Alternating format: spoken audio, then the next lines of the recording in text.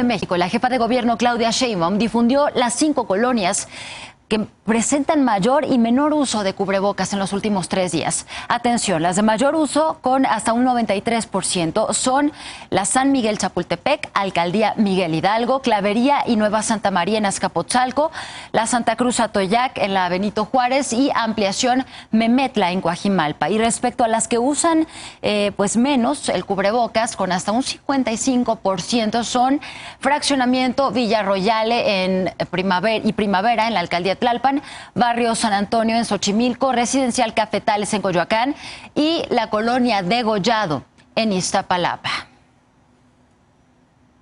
La jefa de gobierno de la Ciudad de México, Claudia Sheinbaum, informó que el uso de los cubrebocas será permanente hasta que no exista una vacuna contra el COVID-19. Afirmó que esta mascarilla pues ayuda muchísimo a disminuir los contagios, por lo que continuarán e intensificarán las campañas del uso de este artículo entre toda la población. Además, precisó que en un par de semanas estarían dando los resultados que tendría el uso de los cubrebocas desde que se convirtió en una medida oficial. Así lo dijo. Estamos esperando quizá dos semanas más para poder hacer una estimación del uso de cubrebocas y su impacto en la ciudad, porque eh, digamos, ha habido una apertura desde más o menos el 15 de mayo a la fecha.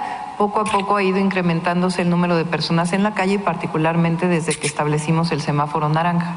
Entonces estamos esperando esta y la próxima semana para saber si hubo incremento en el número de hospitalizados o no y a partir de ahí pues poder explicar el uso de cubrebocas